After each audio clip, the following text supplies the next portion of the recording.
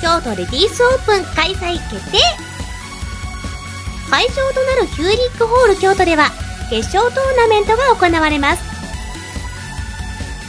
新たな女王の誕生か。